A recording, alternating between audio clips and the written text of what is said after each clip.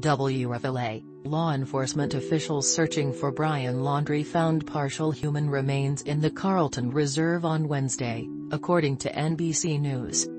The Sarasota County Medical Examiner's Office confirmed it had been called to the Myakkahatchee Creek Environmental Park by police Wednesday afternoon. The environmental park connects to the Carlton Reserve.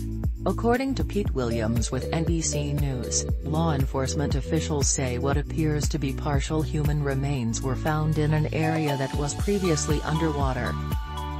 The search for Laundrie has been focused on the environmental park and connected reserve for more than a month now.